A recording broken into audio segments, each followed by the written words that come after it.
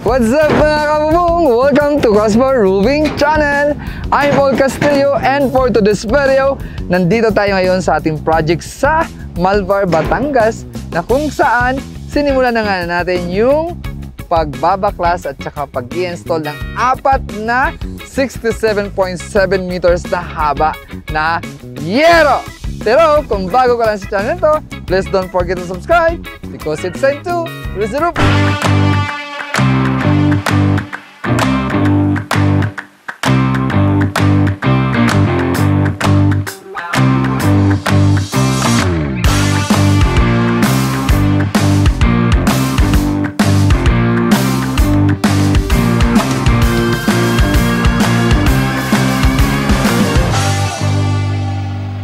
So ayun, nandito tayo ngayon sa taas na kung saan ito na yung ginagawa natin ngayon. Di ba? Nagtatanggal tayo ng mga end flashing. Yun yung una nating gagawin. Siyempre, tatanggalin natin yung mga end flashing. Pero parang okay pa yung ilalim, oh. Nakita mo ng camera, yan. Papansin nyo, okay pa yung ilalim. Okay pa, di ba? No? Okay ba? Ayan. Ito lang problema dyan.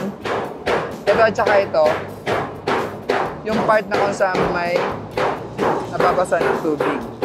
Pero, wala oh. Oh. Di ba, lapitan mo. Lapitan mo, oh. Di ba? Mancha lang siya. Di naman siya kalawang. Yung kalawang itong sa pinakababa. Kaya nagkakaroon ng kalawang dyan, kasi dyan bumabagsak yung tubig.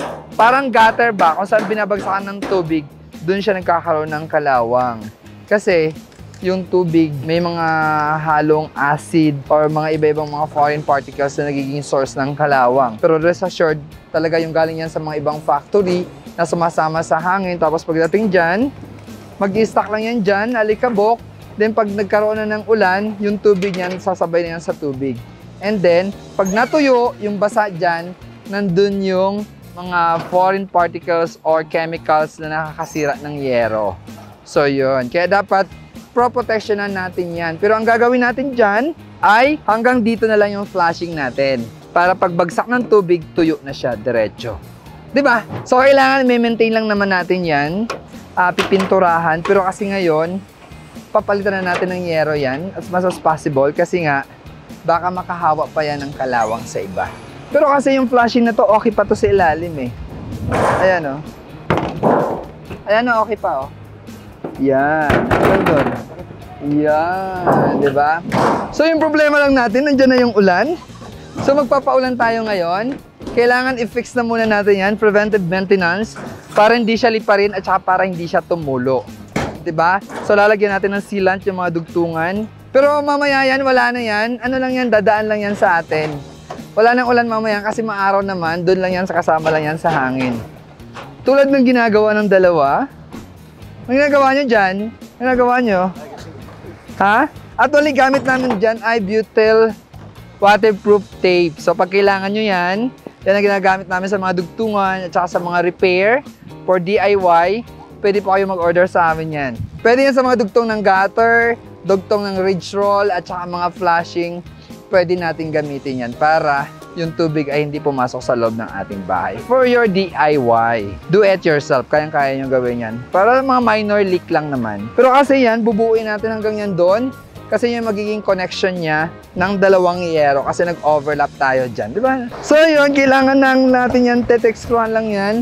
Tapos lalagyan ng sealant bago natin siya iwanan kasi itong part na to, yung pinaka-critical stage niyan. Mahirap to gawin. Alam nyo ba, doon sa isang project namin, yung 4 hectares, ito rin yung profile na ginamit namin. Yung haba nun ay nasa 60 meters ang haba. Pero mas mahaba yata to 67 eh. Nasa 60 meters yung haba nun. So, yun. Yun yun siya. Tuloy tumagal kami doon, mga 2 months, ah, 1 year. 1 year yung project na yun na tinapos namin. Ganon siya katagal. Kasi ganon din siya kalaking project. So, nasa more than 80 manpower kami doon. So, tara, let's go! Umulan na! Mamaya na lang. To be continue. Ito yung problema namin. Minsan biglang umuulan. Biglang hindi. O, tulad yan. Wow! Rain, rain, rain, rain, go away. Yung camera natin, mababasa yan. Saan tayo naputol kanina? Ayun, yun yung kanina yung sinasabi ko sa inyo. Ayun, butyl tape butyl waterproofing. Pag gusto nyo, pwede kayong mag-order sa amin for your DIY. Pwede itong iti-tape nyo lang yan sa mga dugtungan ng mga yero, ng mga flashing, or ng mga gutter. Kung merong butas, pwede natin siyang gamitin. Ano to, pang do it yourself. Kayang-kaya nyo pong gawin to. So, medyo may kamahalan lang siya ng konti, pero better itong gamitin kaysa sa sealant for, for the repair. ba? So, ayun, wala nang ulan. Go back to the proper place. So, ayun. AZ150 yung gamit natin dito na roofing materials, raw materials. At saka yung profile na to, ang tawag dito ay W-Rib 100. Bakit 100? Kasi 100 mm yung height ng rib height niya. Yung height ng rib height niya. Yung rib height niya.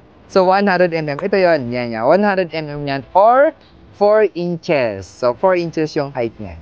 ba? So, ginagamit lang yan sa mga mababang slope na roofing. Pero ito kasi, medyo mataas naman yung slope niya, kaya lang ginamit natin to.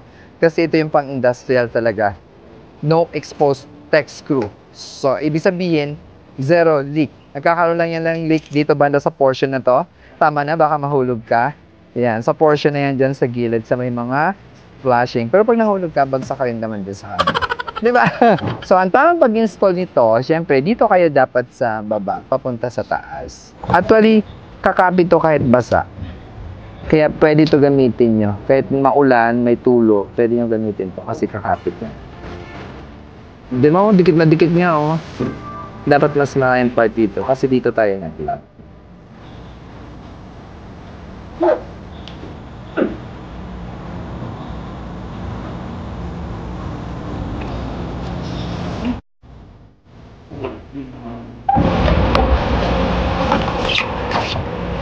Yan.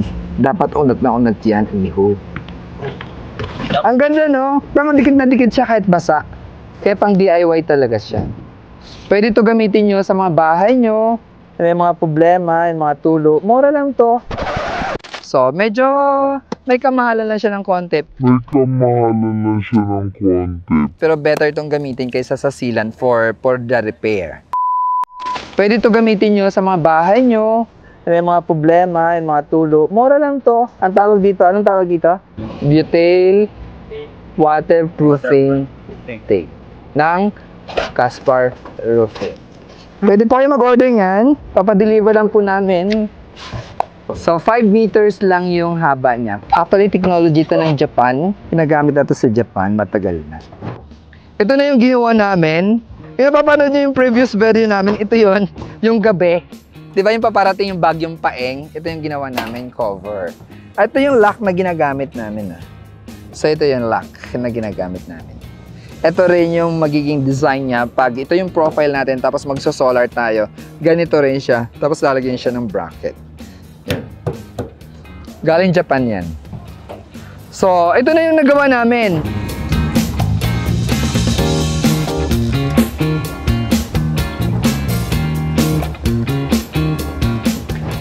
So yun, nakadalawang yero. Ah, tatlong yero na tayo ngayon, ano?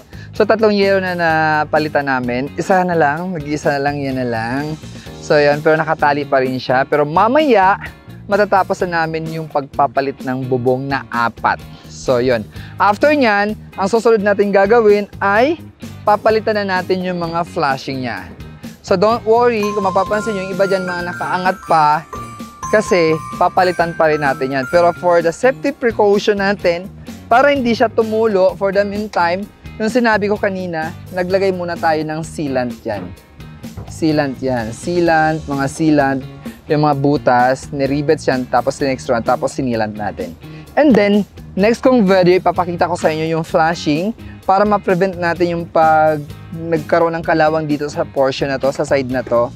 Papakita ko sa inyo mismo kung paano namin i-install yung end flashing nito. Ba? So yon kasi itong project na to, actually hindi ko to naging project. Tulad ng sinabi ko sa unang video, yung una kong naging project dito yung guard house. Yung dalawang guard house kanina. At yung covered court. Kasi doon sa video natin nung una kanina, hindi nakita nila yung covered court. So ngayon papakita ko sa inyo yung covered court na ginawa natin. Okay, okay pa siya. Matagal na yan. Alas magkasunod lang yan ito at saka yon Yan yung covered court, oh. Yan. See? At yan, yan, oh, ginagawa nila ngayon. Yan. Pero hindi ating project yan. Project nila yan. Hello! Nakakakilala sila sa atin. Buti wala naman tulo nung umulan, ano? Nung nagkaroon ng bagyo, hindi siya tumulo. So, yan, pakita mo covered court. Yan yung project natin dito. Covered court. Yan yung pangalawa. Una yung guardhouse at saka itong covered court. So, yan yun yung covered court. Buti yung gutter niya stainless. Stainless to eh. Tayo nang gumawa nito. Yung gutter. Tama, hindi siya kinakalawang. ba? So, yun. Hindi natin to ano gawa kasi kung mapapansin nyo, yung gawa natin na gutter ay mas mababa dyan. Doon sa unang project namin, ah, mababa yung gutter namin dyan sa level ng bubong. So, malayo siya doon sa gawa natin. Pero okay naman kasi yan naman ang standard installation. Kaya lang tayo, ginawa natin half lang. Kasi yung part na yon, pag sobrang lakas ng ulan, babagsak yan hanggang doon. Half nun mapupunta sa gutter, yung half nun mapupunta sa ground. So, di ba? So, hindi bibigay yung ating gutter. Yung pinaka-importante. Yung ganda ng haring araw, oh. Yan, di ba? Salamat naman. Buti naman binigyan tayo ng magandang panahon. Kasi yung portion na lang yung pinapalitan namin doon. Actually, napalitan na namin yung kabila. Ito na lang kabilang side yung papalitan natin. So, yun. And then, hindi natin kailangan maraming manpower dito. Pag napalitan na natin yung yero, ang gagawin na lang natin kasi, mag-install na lang tayo ng ating mga end flashing. So, mamaya abangan nyo, papakita ko sa inyo video, yung pagpapalit namin sa yero. Buti na lang, nabutan pa natin yung isang yero pagpapalit kasi nung una hindi natin nakuhanan. Di ba no? So, ayun, mamaya, ipapakita ko mismo sa inyo yung pagpapalit ng yero. Naka-break lang yung mga tao ko, 5 o'clock. So, magre-resume kayo na kami ng 6 o'clock, 1 hour break and then overtime na tayo. No! Sabahan niyo, mamayang gabi, break time lang tayo. So, okay? Bye! So yun, dyan na nga nagtatapos yung video ito at maraming salamat sa inyong pagsama. Lagi lang pong tatandaan for your repair, for your uh, do it yourself, for your do it yourself, for your repair sa inyong mga bubong, lalo lalo ng papanahon ngayon yung ulan at saka bagyo. Kung hindi hindi pa kaya siyang mapalitan or magawa ng ating mga roofing installer, pwede po gumamit kayo ng waterproofing tape. So ayun, comment down below pag kailangan nyo. Available po yan in the market. And then also please visit casparroofing.ph ang bagong mukha ng aming website. Diyan nyo po makikita yung aming mga products, ang aming mga services, at saka yung aming mga finished project. And also, please visit Caspar Steel Roofing Incorporated in our Facebook page. Available din po yan sa Twitter and Instagram, di ba? And also, please visit my personal blog, ang Paul Castelio Vlog! Safety is your life. See you, mas para to Shout out pala dyan sa mga taga Quezon, Mauban, Mahaban Quezon. Mauban Quezon. Okay, asa- asawa mo, family mo. Hello nga pala sa aking asawa dyan. Game. Anong pangalan? Jeneline, Jeneline Anla. Mercado? Lapira Pasamba. Ah, kala ko, Jeneline. Hi, Jeneline Rapera Pasamba. Pasamba? Pasamba. Ayun. Okay, shoutout na dali. Ay, mahal. Yun, sana all may mahal.